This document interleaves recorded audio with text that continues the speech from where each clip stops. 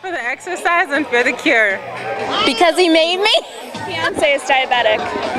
Eric told us we had to? No, really, I did it for all the people who have diabetes. I walk because I was told I would never walk again and I have diabetes. I walk because of the food and all the wonderful people out here. Yay! It's an awesome cause and Lorien rocks. My name is Edgar. I like to say I came here because to give the support of diabetes to the whole team. Thank you very much for inviting me. I was in the neighborhood, and it's important to my girlfriend. Happy to walk this year to raise money for a good cause that's close to our family and our company. I walk for diabetes because we need a cure, and it hits my home really heavy. Thank you. Today for my grandmother. I walk today for my CEO, my company, my friends, and my family. Here today, walking for diabetes because I'm part of Lorien, and I'm out to support Lorien and everybody with uh, diabetes, try to raise some money. It's a great time. Walk today because Eric told me to. No, not really. I actually walked today for my mother-in-law. Walking for a great cause. Lorien's awesome. Woo! Go Lorien! walk the diabetes walk because my mother has diabetes and it's a good cause. Cause and I like to support everybody who has it. Uh, go, go Lorien! I walk today to fight diabetes and for my kids' future.